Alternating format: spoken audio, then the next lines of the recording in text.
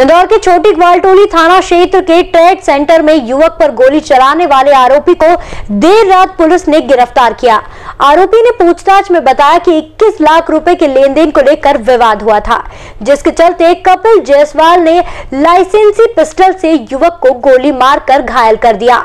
आरोपी से चार ज़िंदा कारतूस, राइफल और लाइसेंस जब्त किया गया है। मामला छोटी ग्वालटोली थाना क्षेत्र स्थित मधु मिलन चौराहे के ट्रेड सेंटर पर गोली चलाने की आवाज़ आने से अफरा तफरी का माहौल हो गया।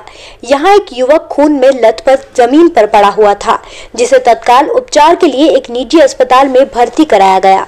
जहाँ उसकी हालत काफ़ी गंभीर बताई जा रही है। पुलिस ने आसपास लगे सीसीटीवी फुटेज और फरियादी के बयान के आधार पर आरोपी कपिल जायसवाल को गिरफ़्तार किया है। जानकारी के मुताबिक कपिल और शैलेंद्र वर्मा का 21 लाख रुपए के लेन देन को लेकर काफ़ी समय से विवाद चल रहा था। कपिल ने रवि को बुलाया और फिर अपनी लाइसेंसी बंदूक से गोली मार दी। आज शाम को थाने पर सूचना आई थी कि इंदौर ट्रेड सेंटर में गोली चली है। जो सूचना पर स्टाफ के साथ मैं पहुँचा, फिर जानकारी लगी कि उसको घायल को गोकुलदास अस्पताल ले गए हैं। वहाँ जाकर जानकारी लगी कि शैलेंद्र वर्मा करके हैं, जो मरी माता चौराहे पर रहते हैं।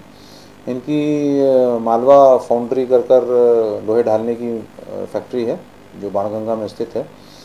तो जिस दौरान हम लोग पहुँचे तो उस समय उनका इलाज चल रहा था और डॉक्टर से पूछने पर जानकारी लगी कि वो बयान देने योग्य नहीं है। कपिल जो जायसवाल हैं उनकी कपिल स्टील्स करके ऑफ़िस है इंदौर ट्रेड सेंटर में पहली मंजिल पर। तो वहाँ पर कार्यरत मैनेजर राठी जी हैं उन्होंने कल फ़ोन करके इनको आज के लिए बुलवाया था। इन लोग का आपस में पैसा लेन देन का 21 लाख रुपए का आ, कुछ डिस्प्यूट चल रहा था।